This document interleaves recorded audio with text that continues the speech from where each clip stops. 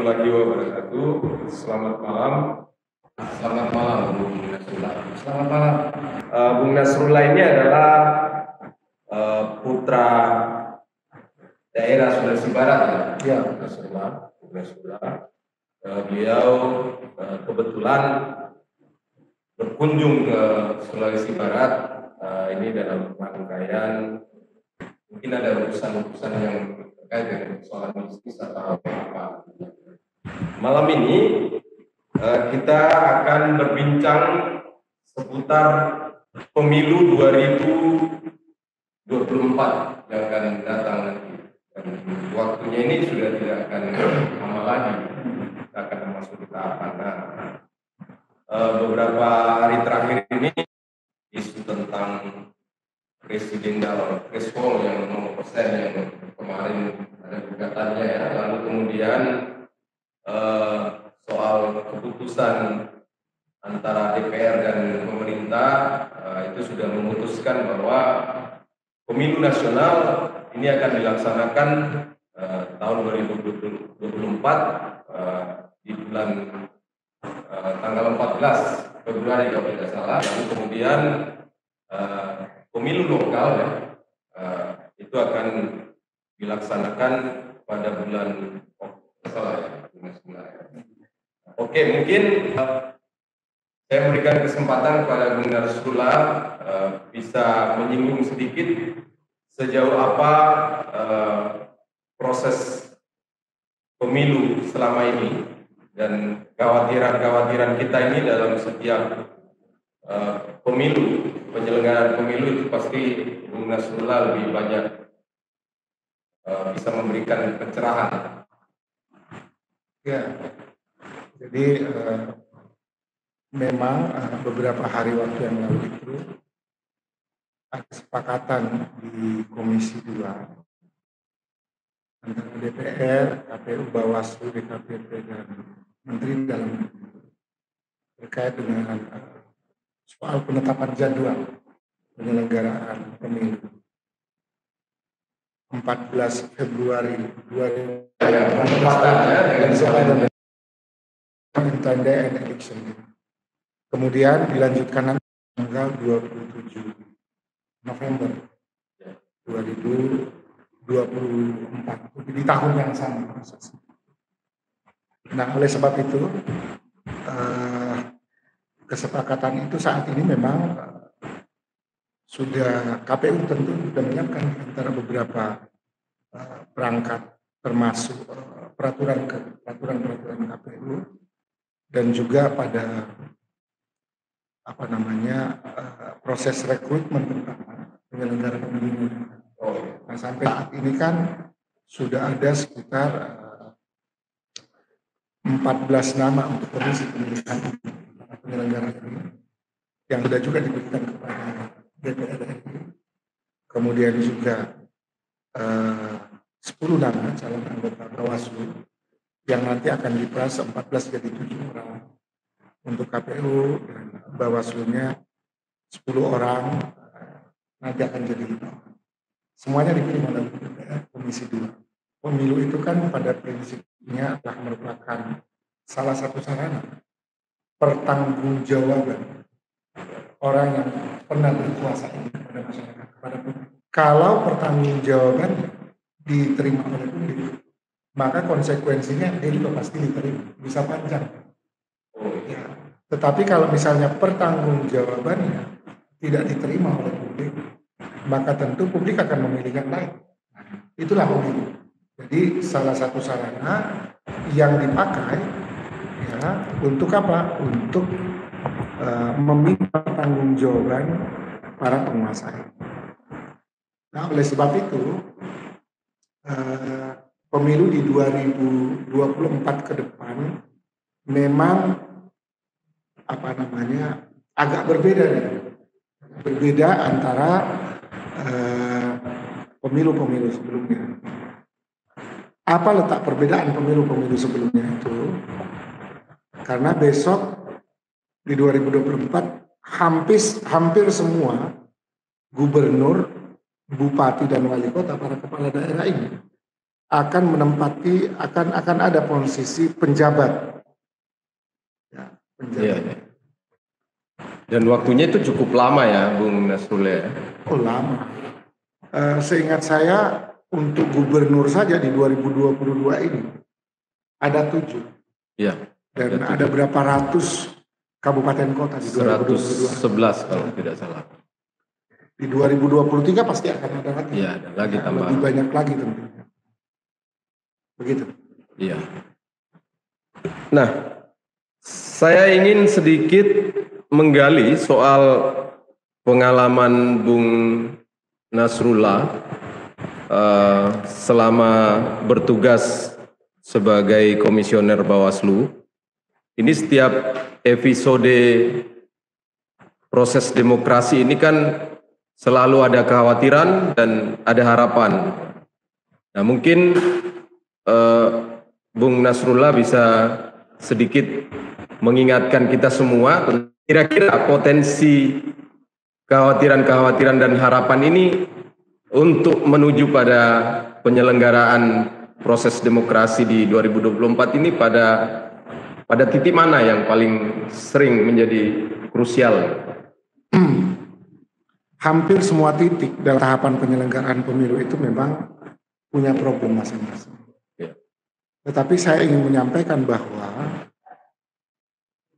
Eh, penjabat yang ditunjuk ini nanti yang semuanya tersentral dari pusat. Jadi semua semua yang namanya posisi penjabat yang akan ditentukan oleh pusat nanti dan uh, sampai pada tingkat kabupaten kota itu ini bisa menjadi satu titik rawan tersendiri.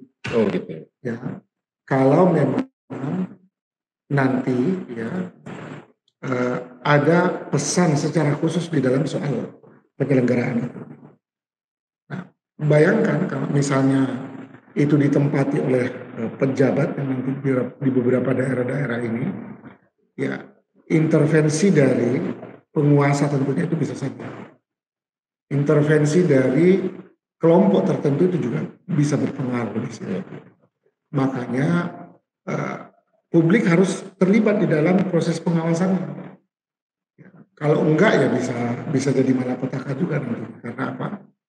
Keinginan untuk memastikan proses penyelenggaraan pemilu ini yang terjamin aspek integritasnya, ya, yang terjamin aspek moralitas yang ingin dibangun itu, maka justru malah bisa berdampak yang lain.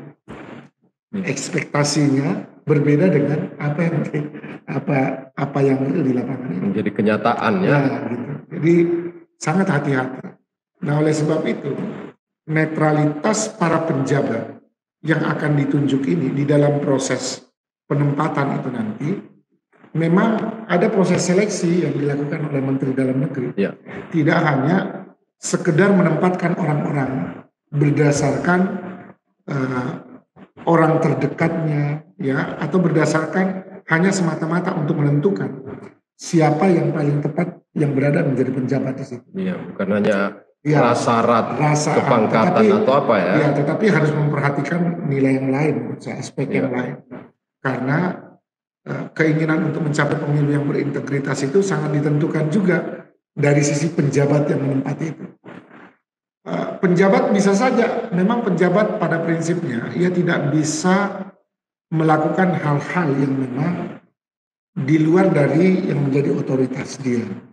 Ya soal-soal politis misalnya, soal pergantian apa misalnya itu nggak boleh penjabat. Ya. ya soal mutasi apa dan sebagainya nggak boleh. Tetapi penjabat justru malah bisa menyampaikan kepada para orang-orang yang ada di bawah, para kepala dinas dan sebagainya, ya kapan barang itu diturunkan atau tidak, kapan bantuan itu bisa diturunkan apa tidak. Nah, itu otoritasnya dia. Jadi kalau misalnya ada program yang dimiliki oleh pemerintah pusat, ada program yang dimiliki oleh pemerintah daerah setempat, harus disampaikan kepada publik, ya sampaikan saja. Nah, kadang-kadang memang ada pejabat, eh, tunggu dulu, nanti di momen-momen tertentu momen baru tertentu, ya. Karena apa tadi ya? itu sebagai bagian daripada proses tawar menawar juga paling tidak. Alat politik. bisa menjadi bisa menjadi menjadi alat politik.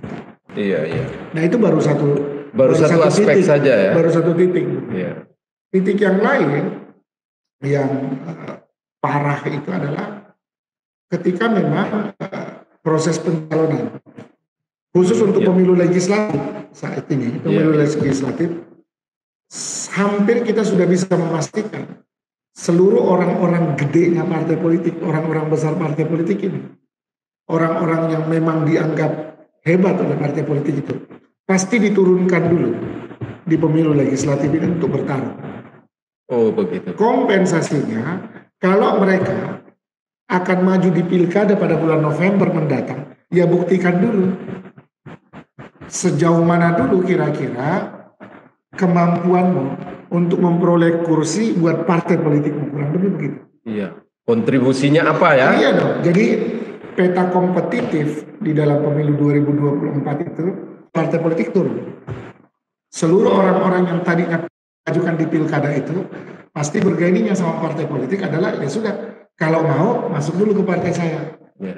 ya pastikan dulu bahwa suaramu harus mampu sekian Harus siapkan tiket dulu ya. ya, jadi kalau pengen dapat tiket Ya harus berkontribusi dulu. apa dulu dong kontribusi kalian jadi terbalik Oh, Nah, jadi terbalik posisinya kalau pengen maju kalau dulu kan begini Ya. kalau pengen dapat tiket bayar dulu ya kan dulu Bayar dulu tapi kalau sekarang apa dulu suaramu untuk partai yang akan Iya. kau pakai ya. Ya, tapi meskipun sesungguhnya ya ada partai politik juga yang tidak pengen menggunakan mahar politik itu. Oh iya. Iya. Ya. Saya lihat itu. Iya. Jadi banyak sekali titik-titik di dalam hal Variabelnya sangat banyak ya. Banyak banyak sekali yang memang menjadi ancaman serius kita juga misalnya dalam proses pemilihan umum di 2024 itu. Sangat banyak. Berarti kualitas proses demokrasi ini ditentukan oleh eh, banyak faktor. Ya. Ya penyelenggara itu sendiri, lalu Satu. kemudian partai politik, Ya. lalu kemudian para pejabat yang akan eh, menjadi pelaksana tugas ya di daerah yang mungkin masa jabatan pemimpinnya ini sudah berakhir. Nah, kalau partai politik sendiri strategi memenangkan partainya ini apakah apa akan ada perubahan-perubahan yang signifikan eh, atau paling tidak berubah dari skenario yang pernah digunakan pada saat pemilu yang lalu atau dengan pemilu yang akan 2024 nanti ini, Bung Nasrullah.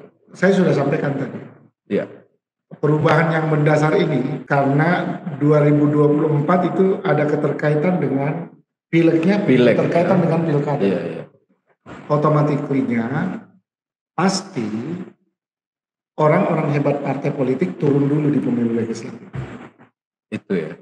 Pasti begitu. Karena makanya saya katakan sangat asik ini pemilu 2024. Karena semua orang-orang hebat partai itu akan turun. Dia harus turun memenangkan partai ini. Partai itu. memenang karena dia punya menteri nggak usah turun karena kalau nggak kayak begitu bisa tertinggal atau misalnya begini menterinya tetap berada di situ Ya. ya untuk tetap menjaga ya menjaga kira-kira untuk titik menangnya di mana nah begitu Oh iya iya. iya. gitu dia tetap jaga dia tetap kontrol jadi keberadaan menteri di dalam kabinet tidak mundur itu bisa jadi juga menjadi alat pengontrol ya di mana kontribusi dia Iya. atau bisa sebaliknya dia mundur eh sorry dia tetap maju Iya. ya, dia tetap maju kan nggak harus mundur Nggak harus mundur dari dia menteri tetap ya. maju untuk memastikan minimal di daerah pemilihan dia dia dapat dapat kursi di dapat situ. kursi di situ Iya. nah begitu nah ini perbedaan yang sangat mendasar jadi seluruh kekuatan partai politik akan digunakan untuk memenangkan partai perbedaan selanjutnya adalah memang kemungkinan besar penyelenggara pemilunya akan membuat model irekap namanya. Irekap. Irekap. Irekap ini eh, posisinya ada pada tingkatan PPK. Oh. Jadi, ah, jadi ada teknologi yang bisa dipakai. Itu yang untuk- terbaru ya. Nah, ada teknologi yang bisa dipakai untuk meminimalisir kecurangan-kecurangan yang ada. Nah, meskipun sebenarnya uh, fakta realnya ya ada-ada saja cara, kecurangan ya. cara yang model model-model terbaru sekarang. Apalagi era ini adalah era digitalisasi. Yeah. Bisa jadi memang aspek uh, digitalisasi pun juga bisa dipakai kerangka apa namanya perbuatan-perbuatan menyimpang ya terhadap uh, pemilu yang memang kita hendaki yang jauh lebih bagus sebenarnya. Yeah. Tapi ya ada saja orang-orang yang pengen menggunakan hal-hal yeah. tidak baik itu. Sebagai mantan komisioner Bawaslu, kira-kira eh, apa menjamin kualitas demokrasi ini ya pola-pola eh, yang untuk mengantisipasi kecurangan sebelum masuk proses-proses eh, apa namanya eh, pencoblosan ya tentu ada proses kampanye. Nah ini kan sekarang ini kan sudah era milenial, era digitalisasi. Nah, ini ini kira-kira akan ada uh, perubahan-perubahan enggak kira-kira dalam proses uh, kecurangan-kecurangan pada pemilu yang lalu dengan yang akan datang? Uh, nampaknya trennya pasti ada sesuatu yang baru. Kecurangan ya, itu ya, kecurangan. ya. Dan... Pasti ada sesuatu yang baru. Bisa jadi ya memang era digitalisasi dipakai untuk itu. Asalnya begini, eh, money politik itu tidak lagi dilakukan dengan cara konvensional seperti ya. biasa. Tetapi money politik itu bisa dipakai dalam konteks uh, digitalisasi. Iya, karena transaksi keuangan sekarang itu tidak perlu lagi cash and carry kan. Ya. Nah, itu bisa dipakai nah, apa Go, ya? Gojek. Gojek itu orang bayar ya, ya paling tidak kecurangan itu bisa dilakukan. Nah, itu yang saya maksud Kira-kira antisipasi eh, pengawas pengawas pemilu ini sudah menyiapkan pirantinya atau gimana itu? Enggak, susah untuk mengawas. Susah ya? Pasti susah. Kenapa?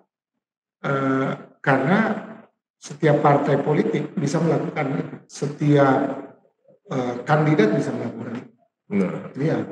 Nah, Anda tidak bisa menangkap orang dengan cara yang seperti apa. Susah menangkapnya karena kan pesanannya ya melalui ini tadi. Dan pembuktiannya ada, juga agak repot. Tidak ada ya? juga alat kontrol untuk alat deteksinya ya. ya. Deteksi itu. Saya nggak tahu kalau misalnya uh, peran apa cyber kita ya. kan sudah ada polisi cyber apa bisa masuk mengontrol itu Nah yang kedua media sosial memainkan peran ini bisa juga membunuh karakter orang Pembunuhan karakter politik orang itu bisa melalui di situ juga. Nah, padahal ya orangnya baik-baik saja, tetapi ya pemberitaannya jadi buruk. Iya, yang berlebihan ya, yang berlebihan. ya. Orangnya tadi misalnya nggak ngapa-ngapain, ya nggak ngapa-ngapain, bisa jadi orangnya ini tadi punya masalah dengan orang yang lain, orang yang lain ini pengen dendam. Ya. ya. Saya misalnya sama Bung Makmun ini tadi ini punya masalah dengan Anda. Nah, pada saat ini saya kerjain Anda gitu. Tapi tiba-tiba suatu saat di kemudian hari kita berselisih lagi lalu Anda kerjain saya. Ya, dengan cara apa ya macam-macam. Macam-macam yang punya maksud ingin membunuh karakter. Ya mungkin bisa jadi nanti saya dibilangin uh, ngecap seseorang, misalnya ngecap seseorang atau mengecap kampung orang dikatakan itu kampung apa misalnya. Iya, seperti yang sekarang ini ya, lagi marak sekarang bagaimana ya, uh, itu kan sama dengan pembunuhan karakter ya, juga. Tokoh partai ah, politik yang menyerang ah, etnik ya. Etnik kan begitu. Nah, ada juga misalnya tadi orangnya memang sangat vokal misalnya. Ya. Tiba-tiba persoalan Sunda aja atau apa aja ya tiba-tiba dimatikan karakternya dimatikan kan. Karakter. Kasihan kalau kayak begitu nah. Saya tidak bermaksud untuk membela pada siapa pun, tetapi pada prinsipnya begini. Ada satu titik yang etika kita sebenarnya sebagai orang timur yang semestinya harus juga orang yang beragama yang memang eh, asas kepatutan, asas kepantasan itu ya. menyampaikan, menyampaikan dan bersikap. Itu ya. Menurut saya begitu sederhana.